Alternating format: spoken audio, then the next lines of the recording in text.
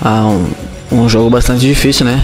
Onde a gente sabia que a equipe do Juventude ia vir pra cima na, pra, no começo, logo no começo do jogo, né? A gente tinha que, tinha que ter 15 minutos bem atentos, porque como toda equipe jogando em casa, né? Ainda mais no mata-mata, né? Mas a gente conseguiu fazer o gol, é, acho que a gente fez um dos melhores jogos nossos, fora de casa. Mas no final acabou que a gente tomou o gol, mas não está nada definido. A gente tem 90 minutos em casa aqui para sair com essa classificação, vai ser muito importante para a gente.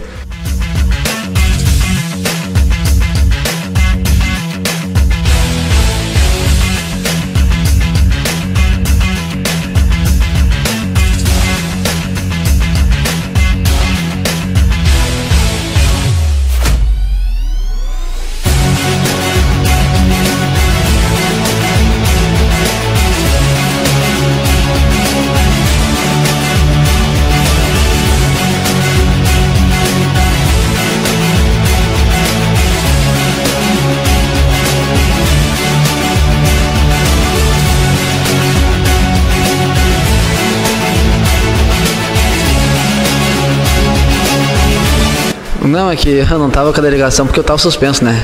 Na Copa Nordeste, né? E, e também eu tava sentindo uma lesão, né? Eu já não tinha vindo, eu já não fui jogo contra o Açul porque eu tava sentindo uma lesão.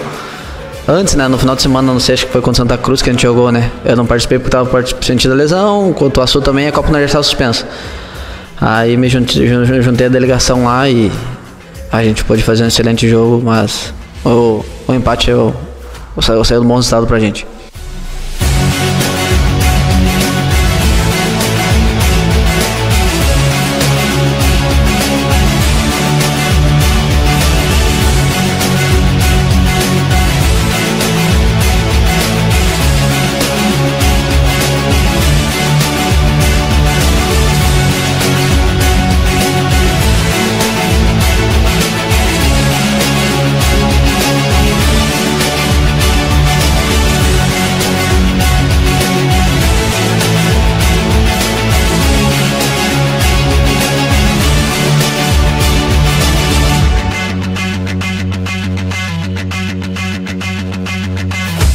Cara, o professor Roberto ele é muito, ele não fala muito com a gente sobre o, o que vai acontecer, né? Sobre o jogo, a equipe que vai jogar, né? Principalmente amanhã, que eu acho que eu quero jogar particularmente, né? Acho que todo mundo contra uma equipe de Série A, Bahia ainda, quem não vai querer jogar, né? Mas eu tenho certeza que ele vai montar uma, uma equipe muito forte para que a gente busque o nosso resultado dentro de casa, que é o mais importante.